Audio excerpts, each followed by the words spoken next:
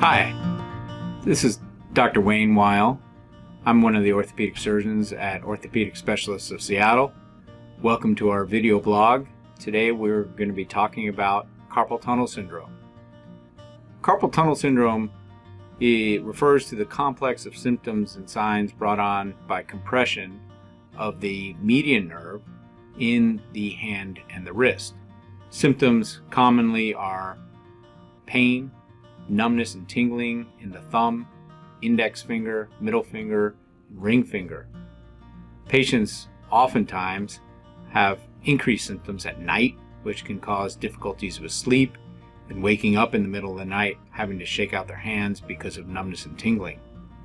Oftentimes, these symptoms uh, can be caused by different environmental exposures, such as work activities, repetitive motion activities, prolonged typing on a computer, vibratory activities, and also different medical conditions such as rheumatoid arthritis or trauma and different medications. I'd like to talk a little bit about the anatomy of uh, the carpal tunnel. The, inside the carpal tunnel, there are the median nerve as well as the nine flexor tendons to the fingers. Over time, what can happen is the pressures in the carpal tunnel can be increased, and this decreases the blood flow to the median nerve, which can cause the symptoms of numbness, tingling, and pain. Some of the increase in the pressures can be due to fluid accumulations, such as are common in pregnancy, or to the previously described uh, environmental exposures. Carpal tunnel syndrome is more common in women and in people who have diabetes and obesity, and it is thought that at least in women, that part of this is due to the biomechanics of just having a smaller tunnel for these 10 structures to ride through, as opposed to in men where the tunnels might be a little bit bigger, and so the pressures would be a little bit smaller. Common treatments for carpal tunnel um, in the early stages are wearing wrist braces at night and also taking non-steroidal anti-inflammatory medications such as ibuprofen or Aleve and these in mild cases can oftentimes be very helpful. If uh, these conservative treatments aren't effective, then oftentimes we will uh, treat carpal tunnel syndrome with uh, steroid injections, and then ultimately, if conservative management does not help uh, with the symptoms, then surgical management uh, can be very beneficial.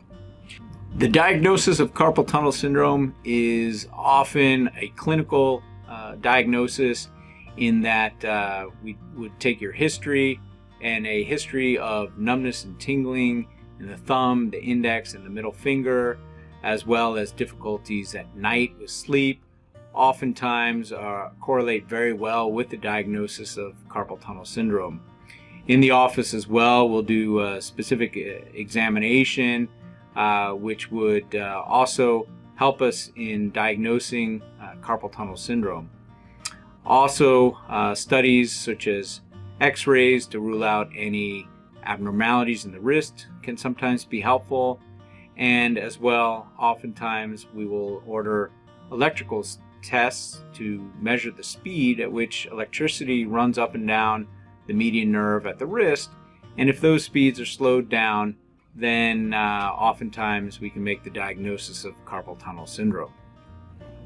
When treatment uh, for carpal tunnel syndrome fails in terms of conservative management, whether it's bracing at night, nonsteroidal anti-inflammatory medications, or carpal tunnel steroid injections, then the treatment uh, moves to a surgical management. Here at Orthopedic Specialists of Seattle, and in my practice specifically, I perform what's called an endoscopic carpal tunnel release. And with an endoscopic carpal tunnel release, through a one centimeter incision in the wrist crease, um, we can insert a camera inside the carpal tunnel and decompress the median nerve and the carpal tunnel from the inside out. The big advantage uh, of this procedure is that it is a minimally invasive procedure and that studies have demonstrated in head-to-head comparisons of endoscopic carpal tunnel releases versus the more traditional open carpal tunnel release that patients have less pain, quicker return to work, and better grip strength in the one month, three month, and six month follow ups. The endoscopic technique as well is a very safe technique. We can visualize your nerve during the procedure, and nerve injury is extremely rare in using an endoscopic uh, technique. Published data has demonstrated that the risks of endoscopic carpal tunnel release are similar to those for an open carpal tunnel release in terms of potential nerve injury. In my practice, after an endoscopic carpal tunnel release, my postoperative protocol is relatively simple. I allow patients to return back to light office type work within a couple of days and manual labor such as construction type work in a couple of weeks. Really the recovery is uh, patient dependent and I tell my patients classic orthopedic advice. If it hurts, maybe lay off from doing it for a while. But generally, people experience complete relief of their symptoms in terms of the nighttime uh, numbness and tingling, pretty much the night after surgery, and experience soreness in the palm of their hand for the first couple of weeks, but really are generally not significantly inhibited in terms of being able to perform activities of daily living. Uh, generally, uh, post-operatively, I don't uh, prescribe physical therapy. I find that most of my patients get back to doing their normal things pretty quickly.